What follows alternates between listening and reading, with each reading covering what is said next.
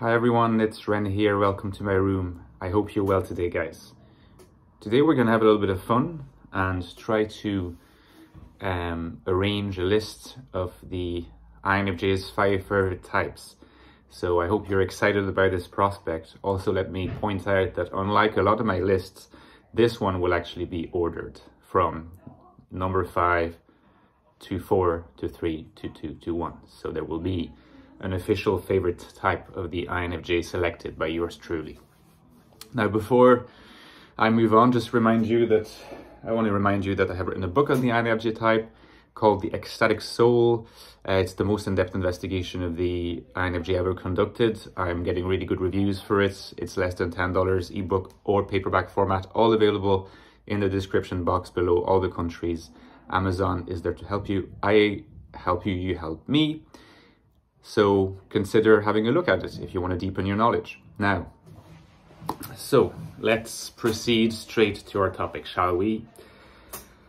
I'll begin with um, an honorable mention, um, mention of a type that is not included in this top five, but uh, could have been, I guess, holding um, the fifth position with the type that is actually in the fifth position. I could have done that, but then it would have been like the six favorite types of the INFJ. It doesn't sound as good.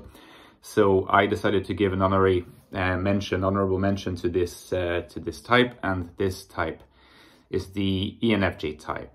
Now, in many ways, the ENFJ is the closest cousin of the um, INFJ, but um, I could not include it in the top five because I think that the other five types that I've included in my top five um, are types that are a little bit more likely to get on uh, with the ENFJ than uh, with the INFJ than the ENFJ is. The ENFJ has everything that's needed to get on well with the INFJ.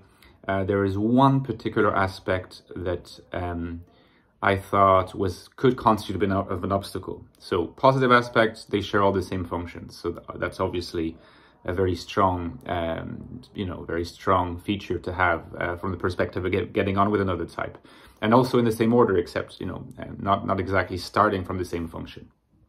But ENFJs are very extroverted types most of the time. So what I would say is that for this minority of ENFJ types that are maybe type 9 ENFJs and are a little bit less super or, uh, extroverted, super oriented toward people, like that subtype of ENFJ would definitely be in the top five. But for most of the ENFJs that I have come across or encountered, what I would say is their extroversion is also directed. It tends to direct the mood. It tends to seek to impose harmony rather than adapt to the harmony. And that's something that any introverts, regardless of, um, of what specific type of introvert is going to experience at times as either a little bit bossy or just a little bit like it's crossing a boundary. So it could be a little bit of a source of stress over time. So I would say that that's the strong emphasis of the ENFJ toward extroversion. The ENFJs are possibly the most extroverted of all extroverts, is what could be a bit of an obstacle to their getting on really well with an INFJ over many iterations of, of, of meeting up. Just one encounter, you know, could extremely impress the INFJ you know, um, about the ENFJ, but a, a over a long stretch of time, I think that some discrepancies will appear. Now, number five, we're officially making it into the list. Well, for number five, I decided to include the ENTP.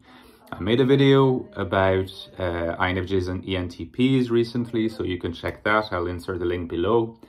I think that ENTPs are dominant intuitives, NE users complete the INFJ's NI very well. They also have FE uh, in a tertiary position, so if it's relatively mature, they can get they can get on really quite well. And the TI also can, you know, the tertiary TI of the INFJ can find the auxiliary TI of the ENTP quite exciting to play around with. You know, this playfulness of the ENTP is kind of the playfulness that the INFJ uh, is always looking for, uh, although they don't dare to be as naturally playful. So it's they like to be pulled into that mode, if you like.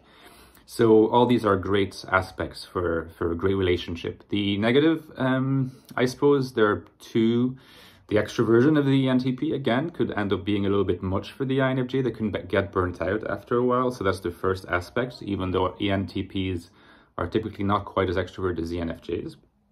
Other aspect is if the INFJ happens to have but not particularly developed tertiary TI, or just have to very to be very very FE uh, oriented rather than TI oriented. And if the ENTP, on the other hand, is very TI oriented, there could be a little bit of a mismatch in the sense that uh, the ENTP could appear uh, as a little bit cold and the INFJ could appear to the ENTP as a little bit uh, too sensitive or too emotional, uh, something like that. So now to move to uh, type number four, I had difficulty placing this one as number four. I was very tempted to put it at number three, but all things considered, I had decided to put INTJ, INTJ as number as number four. The reason for um, INTJ being in this list is should absolutely be obvious.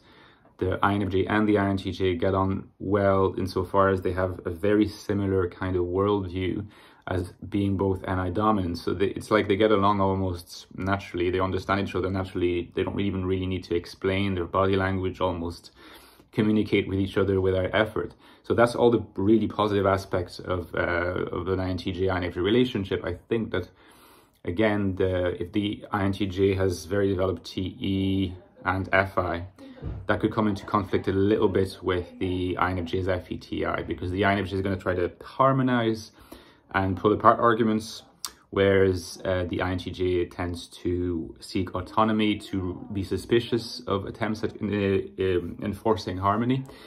Uh, and at the same time, they don't necessarily like types that pull apart arguments. They prefer type that build things that can work in the world. That's more TE than TI. So I think that with these two aspects, there can also be a little bit of a potential for friction. And it's also a, uh, a potential that I've seen online manifested. So despite this amazing potential, there are a few obstacles that sort of force me to put the INTJ at number four and not higher. Number three, I've decided to put the INTP. So the INTP is a little bit higher than the INTJ. I think one reason is that yes, the INTP is even more of a T user than the INTJ because they're actually T dominant, but they're TI dominant. And FE inferior. So allow the FE of the INTP to be relatively developed as far as an inferior function can be developed. And that's that's the source for great um, great friendship and a very mutually enhancing kind of friendship um, and interaction because the TI of the INTP is very attractive to the INFJ's tertiary TI. I, I refer to this in a video on the INTP, which I also link below as the attraction of the tertiary TI user for the, the dominant TI user or the in general the attraction of the tertiary user for the dominant user because the, the, the, the function that it's in the third position is always predicated upon growth. Often a type never feels like they're growing more than when they are consciously or not developing their, their tertiary function. So being exposed to the dominant is very productive from that perspective. And again, there's a T, there's an FE there's potential for FE um, alignments as well. Interestingly, the FE of the INTP has, has I've picked up, and I think that's partly because it collaborates with NE, so you wouldn't see that as much in an ISTP.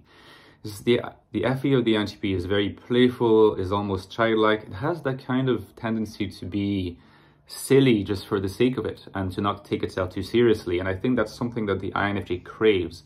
But because FE is higher in the stack, if they're not in the presence of someone who's a bit like that, they'll be hesitant to embrace that part of themselves, even though deep down they would like to. So that can be very liberating to be with an INTP. And then all the advantages of, of, of NE that I talked about in relation to the ENTP are there for the INTP as well. So it's a, it's a great match. Now, number two, I've decided to include the ENFP. Um, I don't know if this requires uh, a lot of justification. It just seems that the INFJ ENFP relationship is extremely um, is extremely well recognized to be a bit of a golden pair. There's magic when each type each each type meet. Um, there is an attraction that just happens there, something that goes way beyond just the notion of the cognitive functions. I could try to give an account of it in terms of the cognitive functions, and I will for a moment, but let's just also uh, just sit down, reflect for a moment, and realize that two people could be INFJ and ENFP. Neither one could know this. They might not know this at all. And they get on remarkably well in real life and they might never know their types. That often happens between INFJ types and the ENFP types. Um, and I think that that has to do with the Uh, and again, the interaction between NE and NI that you see in INFJ and TP relationships, but for some reason, um, and this is a bit of a mystery to me, but the, the INFJ seems to get on better with the ENFP. So it could be partly because they're both feeling types, so there's not a risk of being upset by a certain hardness of the ENTP and the ENFP. And because the FI of the ENFP is uh, kind of in, in good collaboration with TE, it gives the ENFP at times, weirdly, that could be the impact of NE as well.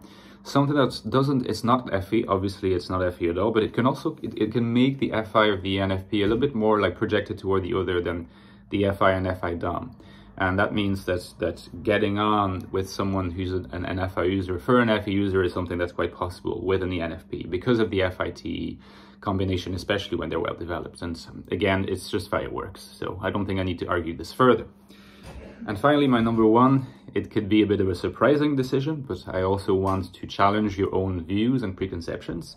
Uh, I've, I've decided to put the INFP as number one um, favorite type and best companion best match for the uh, INFJ. So why did I pick the INFP? Well, I made a video on IN or why INFJs love INFPs recently, so I'll link that one again in the in the description box below.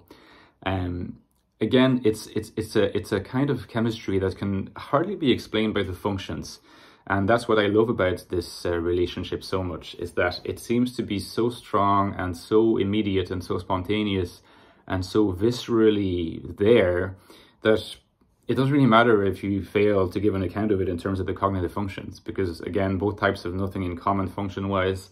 Uh, INFPs are FI dominant, so it, means that they, a lot of them can come across as a little bit reserved, almost a little bit stoic and cold at first sight.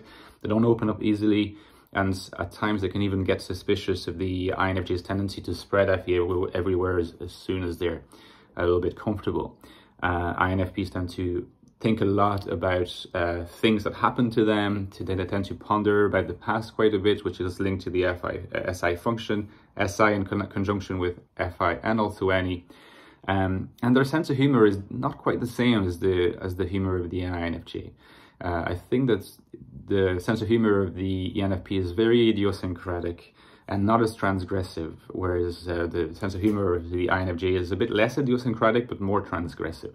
Nevertheless, I think that in terms of the potential for growth on both sides, that's the highest potential. And uh, ultimately, I think it is because both types aspire to be, although they may not admit it to themselves, what the other is and what they are not at that particular moment. So the INFP, the INFP, I'm sorry, is is always aiming to make their original idiosyncratic personality and existence more in tune with the world and to project it toward the world is not something that's easy easy to do for them because they're again FI dominant, quite introverted and suspicious of spreading their creativity around. So they tend to want to keep hold of their own creativity. But because that's not growth, growth is to actually get out of your comfort zone. They they they they they treasure the idea of being able to do this from an introverted perspective, and they see INFJs via FE being able to do this. And that's something that they find very stimulating and that, again, is a key to growth. And on the other hand, the INFJ can do this, but INFJs, what they doubt is not so much their ability to to, to project themselves toward others with ideas, because they're better able to do it than INFPs, but they're more likely to doubt their originality, their uniqueness, or to feel a bit bad, not, not being able to deal with the fact that they have this singularity, because it conflicts with their desire for harmony. That's at least that's how per they perceive it. But again, the idea of getting out of your comfort zone is to to go into those areas. And the INFP is like that by nature. And so by being exposed to an, an INFP, that can be a great source of inspiration for the INFJ to take the bull by the horns and face their singularity. So the INFP confers the singularity of INFJ. The INFJ confers the ability to project themselves toward other people uh, to the INFP. Bring both together, it's a potent, magnificent blend. And so that's all for my list. Um, so just to give you a quick recap, number five, ENTP, number four, INTJ, number three, IN, INTP, number two, ENFP, and number one, INFP. I would love to know what your own top five is. So let me know in the comments. Consider giving me a like and subscribing. And I will talk to you soon, guys. Bye-bye.